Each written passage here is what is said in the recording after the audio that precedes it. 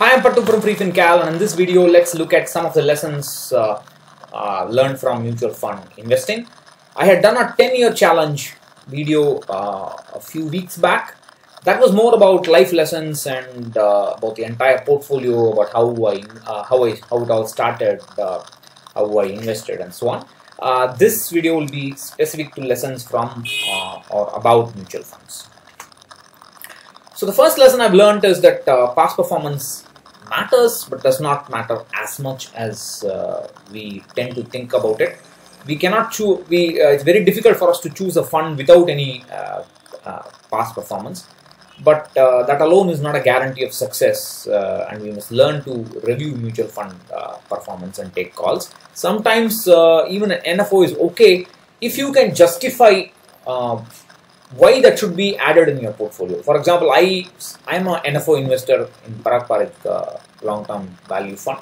At that time, there were there were no mid uh, mid cap funds in my portfolio, so it, I mean it, uh, it made sense for me to uh, buy that. It had international uh, diversification. I expected it uh, to lower risk a little bit in my portfolio, and and I think it has done done its job. So it, it I could justify that purchase, and if you can justify it technically then it's fine. What happens is people uh, look at all these advertisements or their bank relationship manager sends them a flyer or calls them and say there's this NFO start investing in it. Then they say is it a good idea? I mean other people should not be able to say whether it is a good idea to invest in a mutual fund. That is stupid. We must have a system and we must be able to justify whether investing in this NFO or any mutual fund is okay or not. Then it's okay the I think this is one of the most important uh, uh, revelations I've had. It is not possible to select the right kind of mutual fund. Of course, we know that it is not possible to choose the best mutual fund. It is also not possible to choose the right mutual fund. All these advisors and people like Money Life Foundation, they kind of they make uh, they make you uh, uh, get scared saying, oh, look at all the huge range in returns between the worst performing fund and the best performing fund. You have to learn how to choose the right mutual fund. If you cannot do it, let us do it for you. Uh, I have a post about, I, I, I say Money Life because I, I wrote this, a, a, a, post with this title because of their flyer or because of their information uh, circulated. So, it's simply not possible to find the right mutual fund. You will have to, no matter how much research you do, no matter how much mathematics you employ, you will finally have to take a chance, invest in that fund, review performance, and make changes if necessary. If you are, if you do not have the guts to do it, uh, then uh, don't invest in mutual funds. Please don't. Again, the same thing, uh, more or less. Review and uh, reviewing a mutual fund is more important than selection. Today, I have the confidence to select a mutual fund in 10 minutes or even less. I'll just do inky pinky ponky and select. I, I have a video on how you can uh, select a mutual fund in 30 minutes. Have a look at that. Uh, what is more important is to review performance with the benchmark and uh, from the date of investment. That's very important. So suppose I invest, I have to give three years for performance for the fund to outperform. And from the date in which I started investing, if the fund is doing well, I just let it go. I mean, there's no need to break our head too much about it. If it is not doing well, chuck it fully. Get rid of it fully and then invest in a new fund. Uh, uh, redeem all your units, push it to the new fund in one shot, then start investing in the new fund. Otherwise, your, your portfolio will start uh, getting bigger and bigger. Returns are not important. As my wealth grew and as I learned to do more and more of goal based investing, I realized that what is you cannot eat returns. You cannot eat with returns. Uh, it doesn't matter whether you get 45% return or 25% return or just 2% returns. What matters is whether you have enough money for your future needs. So, if you change from your uh, change your perspective from target return or return expectation to target corpus and uh, uh, modify your uh, asset allocation and your investing mentality towards that i think it will be a lot more uh, you know saner. You'll be a lot you can invest peacefully. I, I have a i have mentioned this in my audit posts. You can have a look at that so SIP is not systematic investing. SIP will not make you disciplined. There's no strategy involved in SIP. It is merely automation. I would say there are a lot more benefits in manual investing and uh, force yourself to be disciplined and invest manually. Whenever I say manual investing, people automatically assume I am talking about timing the market. No, manual investing is not market timing. Every month, in the first week of the month, after you get your salary, within a few days, invest manually. It will take 30 seconds per fund and you do only need one fund. How? If you cannot, if you do not have the discipline to do this, if you say, I will forget, you do not deserve to get rich. As simple as that. Excuse me. What is the best way to build a diversified portfolio? This is one of the hard learned lesson. The best way to build a diversified portfolio is to choose one fund and stick to it. Have a one fund portfolio. Don't ask which fund. Let it be a large cap fund. Let it be a single multi cap fund. Let it be a uh, mid cap fund. This is the our brains are all uh, if, you, if, if you choose a large cap fund, then people say, what about mid cap? What about what about them? If, if you don't invest in them, what the heavens will fall? Nothing will happen. Just one fund is enough. If you are worried, choose a multi cap fund and you're done with it. That's it. That's it. Minimalism matters. This is one of the biggest lessons I've learned.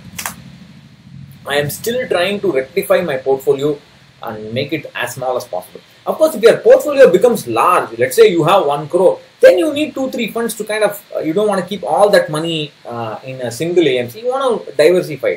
If you have 20 crores, you can have one crore in the same AMC. But if you have only one crore, then you don't want that one crore in the same AMC. So that is, so as you, uh, as your wealth grows, your uh, requirements will also keep changing.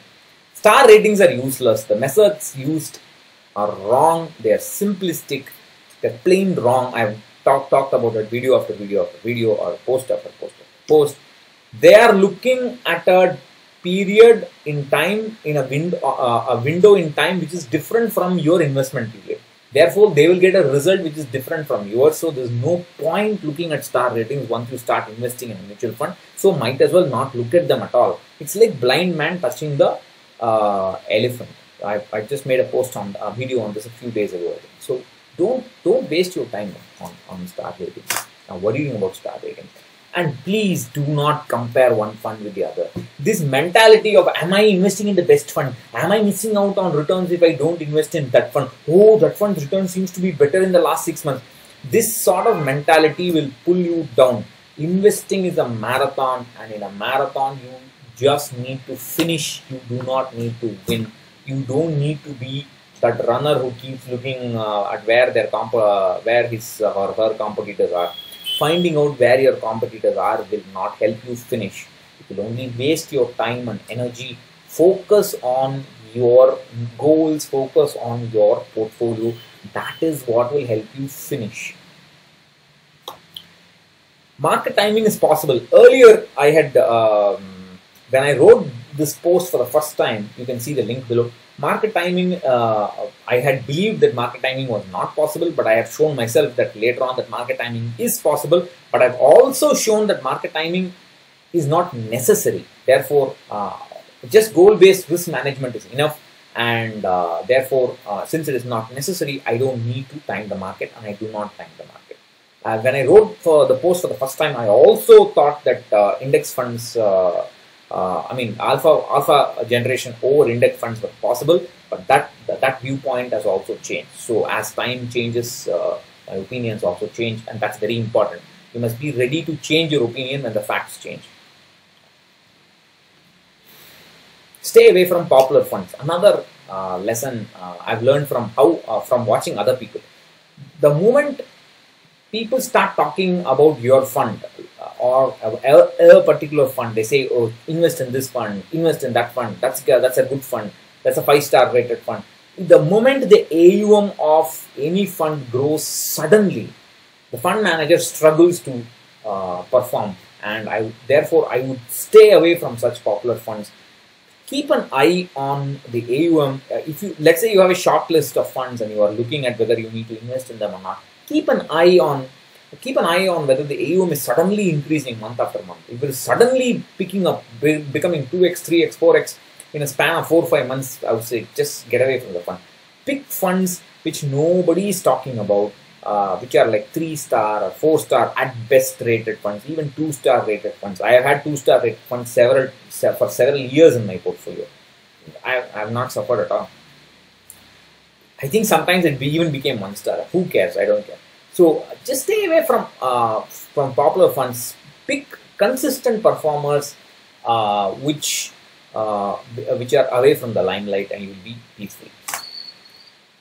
And in investing, there's no right or wrong. There's no best or uh, uh, not best. There's only gray. Everything has got multiple solutions. You have to choose a method, have the conviction, to stick to it, evaluate it, and if uh, if you uh, if your method has failed, you agree that it has failed and uh, dust yourself and move on. That's it. Regret.